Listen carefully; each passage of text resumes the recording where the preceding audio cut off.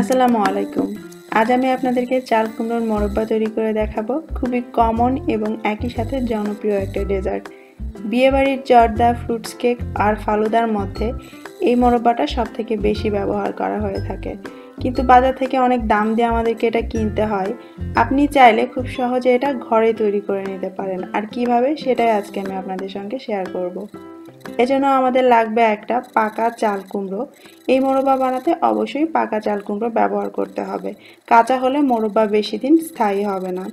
এটা পাকা কিনা বোঝার উপায় হচ্ছে চাল কুমড়োর উপর দিয়ে এভাবে আঙুল দিয়ে খসা দিলে যদি আঙুলের সাথে পাউডারের মতো লেগে থাকে, তাহলেই বুঝবেন এটা পাকা।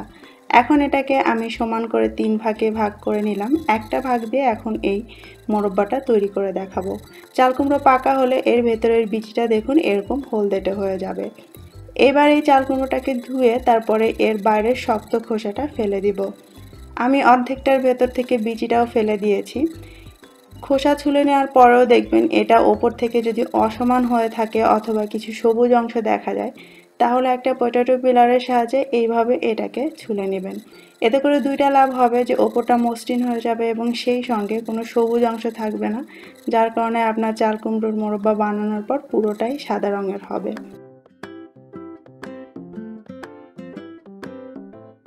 বাকি যে টুকরাটা আছে, এর ভেতর থেকে আমি বিচিটা বের করিনি। আপনি চাইলে কাটার আগে বিচিটা বের করে ফেলতে পারেন অথবা এইভাবে আগে টুকরো করে কেটে নিয়ে তারপরে এর ভেতর থেকে বিচি আর নরম অংশটা বাদ দিতে পারেন।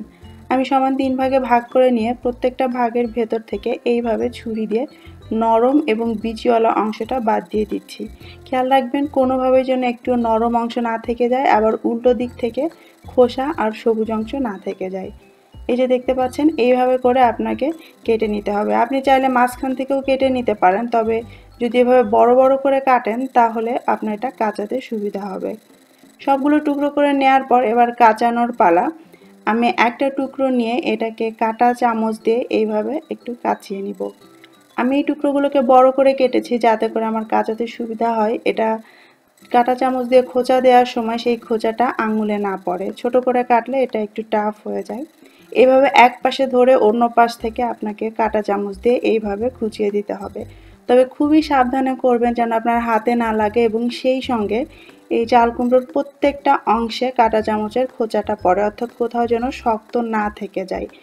এই কাঁচানোর কারণ হচ্ছে এর ভেতরে একদম ফাঁপালো করে দেওয়া যাতে এর ভেতরে পরে যখন আমরা চিনি শিরায় জাল দিব, সেটা ঠিক মতো ঢুকতে পারে এবং নরম হয়ে যাওয়া।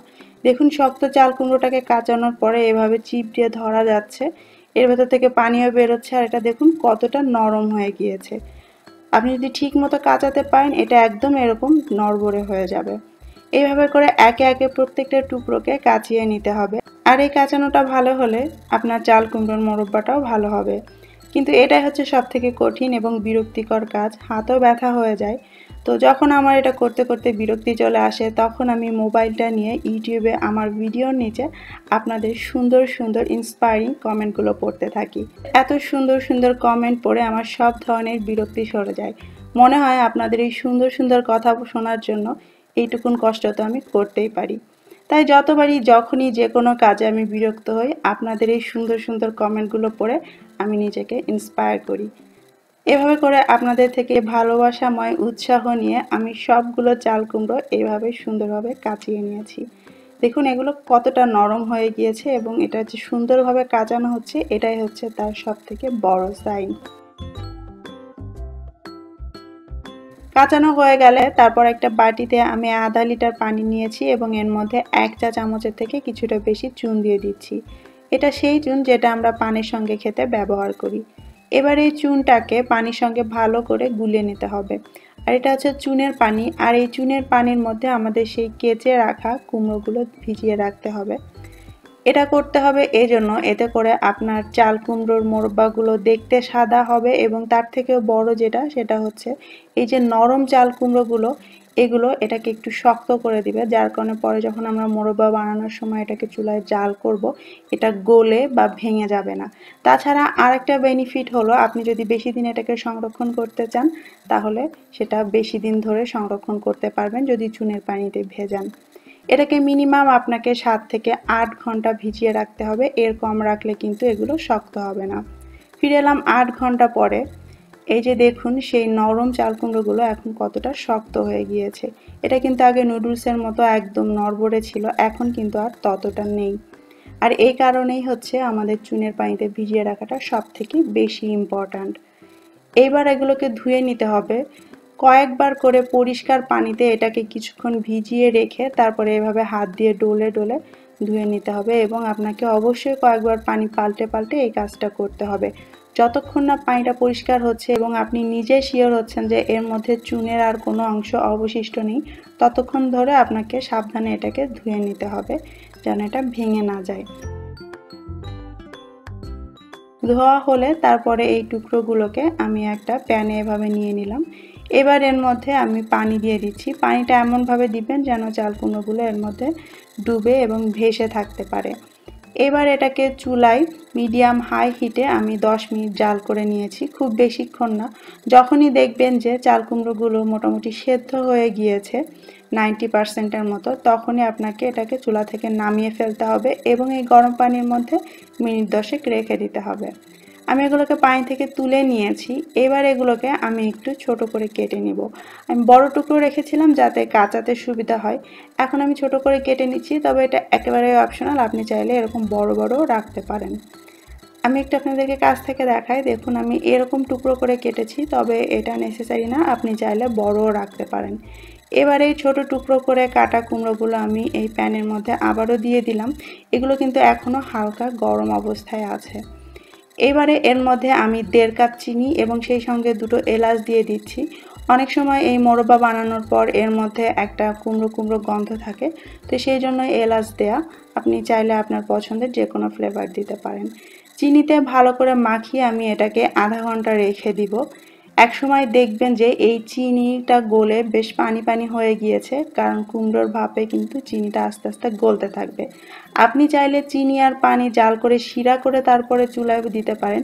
কিন্তু এভাবে দিলে দেখুন আপনার কোনো এক্সট্রা পানি দেওয়া লাগবে না। এই চিনির পানি এবং কুমড়োর পানি থেকে অনেকটা পানি বের হয়ে যাবে। তারপর মিডিয়াম লো ফ্লেমে আপনাকে এটা জাল করতে হবে। দেখে নিশ্চয়ই বুঝতে পারছেন কতটা পানি এখন এর মধ্যে দেখা যাচ্ছে, কারণ এই চাল কুমড়োর মধ্যেও কিন্তু পানি ছিল। আর এটা জাল করার সময় কোনোভাবেই চুলার আঁচ বাড়ানো যাবে না, তাহলে এইটুকুন পানি খুব তাড়াতাড়ি শুকিয়ে যাবে। অল্প আছে আপনাকে এটা জাল করে নিতে হবে যাতে এর ভেতরে চিনি শিরাটা ঠিক মতো বসতে পারে এবং একই সাথে সেদ্ধ হতে পারবে। পনেরো বিশ মিনিট ধরে এভাবে জাল করার পর দেখবেন যে চিনি শিরাটা শুকিয়ে গেছে। কিন্তু একেবারে পুরোপুরি শোকানো যাবে না। দেখতেই পাচ্ছেন এই প্যানের গায়ে বেশ খানিকটা শিরা এভাবে ঘন অবস্থায় আছে। আপনি দুটো আঙুল দিয়ে এভাবে একটু চেক করে দেখবেন। যখন দেখবেন এটা হাতের সাথে একদম চিপকে চিপকে যাচ্ছে এবং ক্রিস্টাল মতো হয়ে যাচ্ছে।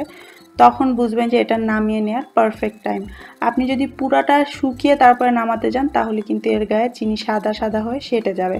তখন কালারটা ভালো হবে না। এইভাবে অল্প শিরা থাকতে এটা প্যান থেকে তুলে একটা ওয়ার র্যাকের উপরে এইভাবে বিছিয়ে দিতে হবে ফাঁকা ফাঁকা করে। যাতে এর ভেতরের থেকে যদি এক্সট্রা চিনি শিরা থাকে, সেটা নিচে ঝরে যায় এবং বাকিটা এই মোরব্বার গায়ে সুন্দরভাবে শুকিয়ে যায়। কোনোভাবে এটাকে কোনো প্লেটের উপর রাখবেন না, তাহলে এক্সট্রা শিরাটা জমে এর গায়ে বেশি চিনির আবরণ তৈরি হয়ে যাবে। সাত আট ঘণ্টা ধরে এভাবেই রেখে দিতে হবে। আর দেখতে পাচ্ছেন, সাত আট ঘণ্টা পরে কত সুন্দর এটা ক্রিস্টাল হয়ে গিয়েছে এবং এর গায়ে অতিরিক্ত চিনির প্রলেপটাও কিন্তু নেই। অনেক সময় মোরব্বার গায়ে অতিরিক্ত চিনির প্রলেপ থাকলে সেটা খেতেও ভালো লাগে না, আবার দেখতেও ততটা সুন্দর হয় না। মোরব্বাটা বানানো অনেক সহজ, কিন্তু আপনাকে একটু সময় দিতে হবে এটাকে পারফেক্টলি শুকানোর জন্য। সাত আট ঘণ্টা সময় দিলে এটা সুন্দরভাবে শুকিয়ে চিনি শিরাটা মোরব্বার গায়ে এভাবে ক্রিস্টাল হয়ে যাবে আর দেখতে অনেক বেশি সুন্দর হবে। এটা বাইরে থেকে একটু শক্ত হলেও ভেতরটা কিন্তু একদমই নরম আর রসালো হয়। আমি আপনাদেরকে একটু কেটে দেখিয়ে দিচ্ছি। দেখুন, এর ভেতরটা দেখলেই বুঝতে পারবেন এর ভেতরটা কতটা রসালো। আপনি চাইলে এই মরব্বাটা কোনো এয়ারটাইট বক্সে করে দীর্ঘদিন পর্যন্ত সংরক্ষণ করতে পারেন। একটু আমি আপনাদেরকে হাত দিয়ে ভেঙে দেখিয়ে দিচ্ছি। দেখুন, এর ভেতরটা কিন্তু মোটেও শক্ত নয়। আশা করছি আমার আজকের এই মরব্বার রেসিপিটা ভালো লেগেছে। সবাই অনেক ভালো থাকবেন, আমার জন্য দোয়া করবেন। আল্লাহ হাফেজ।